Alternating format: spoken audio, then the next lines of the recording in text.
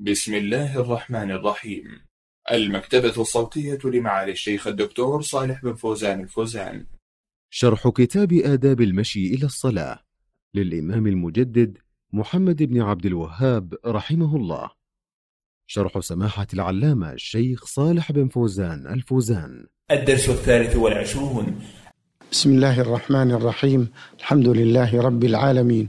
والصلاة والسلام على قائد الغر المحجلين نبينا محمد وعلى آله وصحبه أجمعين. مرحبا بكم أيها الإخوة والأخوات في درس من دروس آداب المشي إلى الصلاة.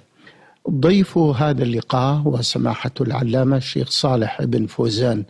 الفوزان عضو هيئة كبار العلماء وعضو اللجنة الدائمة للإفتاء. باسمكم جميعا نرحب بسماحته ونشكر له تفضله التلبية في دعوة هذا البرنامج. أهلا ومرحبا سماحة الشيخ صالح. حياكم الله وبارك فيكم قبل أن ندخل إلى باب صلاة التطوع نود من سماحتكم أن تتحدثوا في بداية هذا اللقاء يا شيخ عن الأثر المترتب على المحافظة على الصلوات في وقتها والأجر العظيم في المحافظة عليها. بسم الله الرحمن الرحيم الحمد لله والصلاة والسلام على رسول الله وعلى آله وأصحابه أجمعين قال الله سبحانه وتعالى حافظوا على الصلوات والصلاة الوسطى وقوموا لله قانتين وقال سبحانه وتعالى إن الصلاة كانت على المؤمنين كتابا موقوتا محافظة على الصلوات في مواقيتها يأتي بعد شهادة أن لا إله إلا الله وأن محمدا رسول الله. ففي الحديث أن الدين شهادة لا إله إلا الله وأن محمدا رسول الله وإقام الصلاة وإيتاء الزكاة وصوم رمضان حج بيت الله الحرام من استطاع إليه سبيلا هذه أركان الإسلام أولها التوحيد وثانيها إقام الصلاة مما يدل على أهمية الصلاة ومكانتها في الإسلام. فالذي لا يصلي ليس بمسلم والذي يصلي لكن يؤخر الصلاة عن وقتها لا تقبل منه إلا إذا كان له عذر اقتضى إخراجها عن وقتها. المعذور له حكم وأما من إذا تعمد إخراج الصلاة عن وقتها فإنها لا تقبل منه. نعم. قال المؤلف رحمه الله تعالى باب صلاة التطوع. صلاة التطوع هي النوافل وصلاة التطوع تأتي بعد الفرائض بعد الصلاة الفرائض. في الحديث القدسي أن الله جل وعلا يقول وما تقرب إلي عبدي بشيء أحب إلي مما افترضته عليه ولا يزال عبدي يتقرب إلي بالنوافل حتى أحبه فإذا أحببته كنت سمعه الذي يسمع به وبصره الذي يبصر به ويده التي يبطش بها ورجله التي يمشي بها. يعني أن الله يوفقه في هذه الأعضاء. ويحفظها له فالصلاة لا شك قال جل وعلا واستعينوا بالصبر والصلاة. فالصلاة مع الصبر استعانوا بهما على مشاق الحياة وعلى المكاره. نعم. قال أبو العباس التطوع تكمل به صلاة الفرض يوم القيامة إن لم يكن أتمها وفيه حديث مرفوع. قال أبو العباس يعني شيخ الإسلام ابن تيمية رحمه الله فإنه يكنى أبا العباس. قال إن الفرائض تكمل يوم القيامة من صلاة التطوع وهذا يشهد له الحديث أن الله جل وعلا يقول لملائكته التمسوا هل لعبدي من تطوع إذا حصل في صلاته نقص إذا حصل في صلاة الفريضة نقص؟ يقول لملائكته التمسوا هل له من تطوع؟ نعم. وكذلك الزكاة وبقية الأعمال. نعم بقية أركان الإسلام. الصلاة شهادة لا إله إلا الله ثم إقام الصلاة ثم إيتاء الزكاة ثم صوم رمضان ثم الحج إلى بيت الله الحرام. هذه أركان الإسلام الواجبة على المسلم وهذه الأركان لا بد من القيام بها والإتيان بها. ثم بعدها تأتي النوافل. نعم. ثم تعلم العلم وتعليمه. ثم بعد أركان الإسلام تعلم العلم وتعليمه.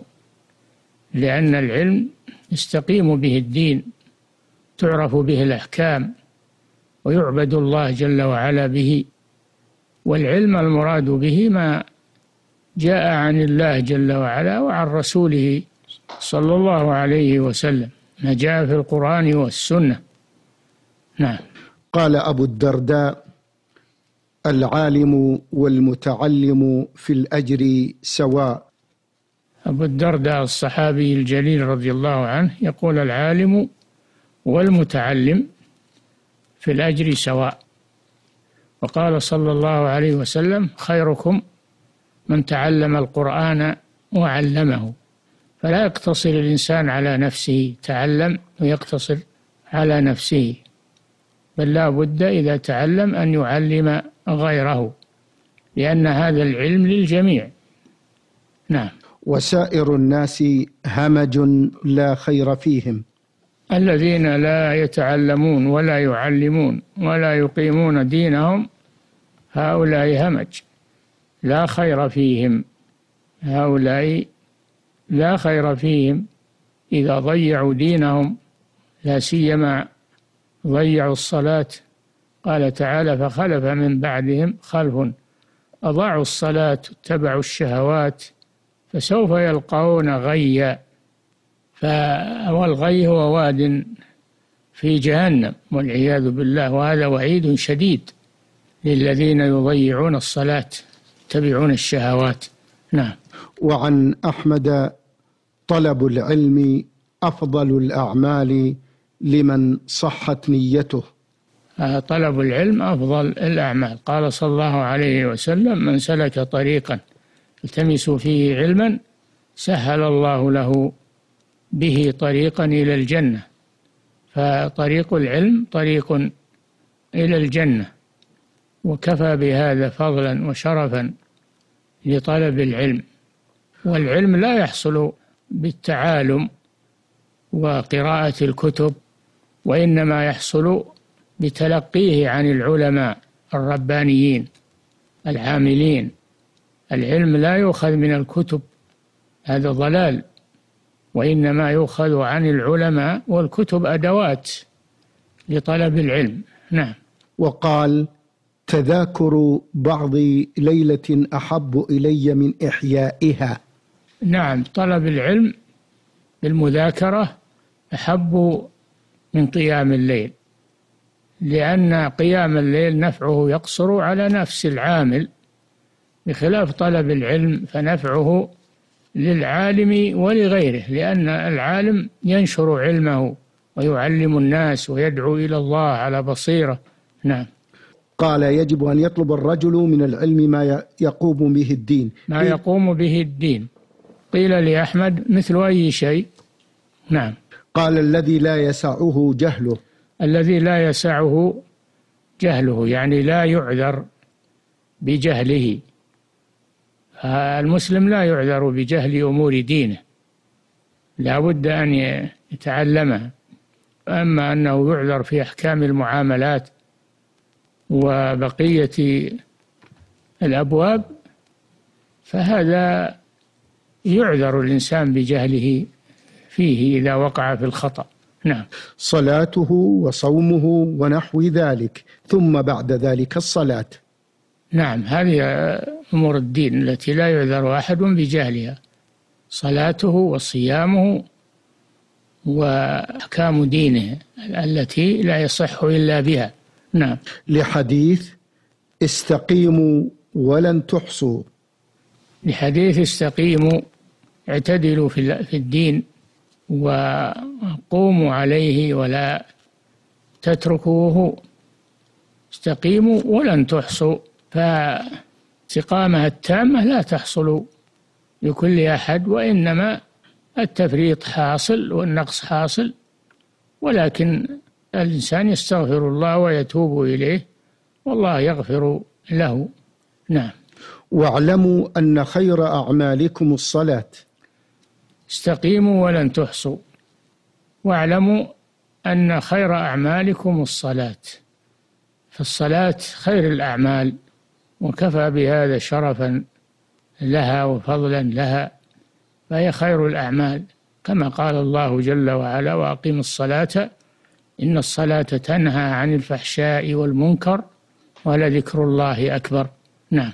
ثم بعد ذلك ما يتعدى نفعه.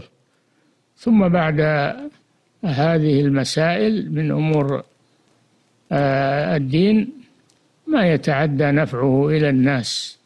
من تعليم جاهل تذكير غافل إلى غير ذلك. نعم. من عيادة مريض أو قضاء حاجة؟ ومن ما يتعدى نفعه عيادة المريض. فعيادة المريض مستحبة ومتأكدة وهي من حق المسلم على المسلم أن يعود أخاه إذا مرض ويطلب له الشفاء. نعم. أو إصلاح بين الناس. أو إصلاح بين الناس المتنازعين يسوي بينهم يقرب بينهم. قال الله جل وعلا لا خير في كثير من نجواهم إلا من أمر بصدقة أو معروف أو إصلاح بين الناس. من يفعل ذلك ابتغاء مرضات الله فسوف نؤتيه أجرا عظيما. نعم. لقوله صلى الله عليه وسلم ألا أخبركم بخير أعمالكم وبأفضل من درجة الصوم والصلاة؟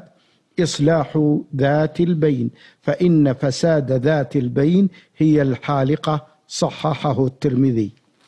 قال الله تعالى فاتقوا الله وأصلحوا ذات بينكم وإصلاح ذات البين له فضل عظيم كما أخبر النبي صلى الله عليه وسلم في هذا الحديث أنه من أفضل الأعمال لأن به تصفو القلوب ويتقارب المسلمون ويزول ما بينهم من نزاعات. فإصلاح فالإصلاح بين الناس أمره عظيم. نعم. شكر الله لكم سماحة الشيخ صالح. على تفضلكم بشرح هذا المتن في كتاب آداب المشي إلى الصلاة. نستكمل ما تبقى من هذا الباب إن شاء الله في الدرس القادم مع سماحة الشيخ صالح الفوزان.